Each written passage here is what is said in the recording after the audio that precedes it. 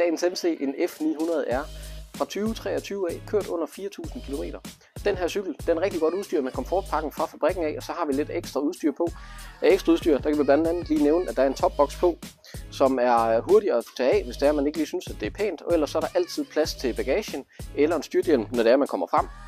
Så øh, behøver man ikke have den der. Der er også en M-kæde på, det vil sige en forstærket kæde, der kan holde til lidt mere, og øh, ikke behøver at smøres lige så meget som de almindelige kæder. Samtidig med, så har vi alt det lækre udstyr her foran. Der er sådan noget som varme i håndtagene. Der er øh, nøglefri betjening, så man behøver ikke nøglen øh, stik den i for at køre på cyklen.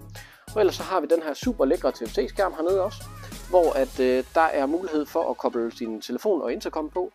Og så kan man smide øh, det mørktone visir ned, øh, lade musikken køre på fuld blæs inden under hjelmen, og så kan man styre det hele herop via styrknappen over på den anden side af styret. Der er også en lille bitte vindskærm, sådan så den lige bryder lidt af vinden til, øh, så man ikke får det hele ind. Og selvfølgelig er der blevet sat en motorspoil på, så den ser super aggressiv ud. Den her cykel, den kan nå at blive din for 124.900. Så skal det være dig, der stikker af, men kig ind til os, giv os kald, så kan det være, at det er dig, der når at stikke af med lige præcis den her super, super lækre cykel. Vi ses.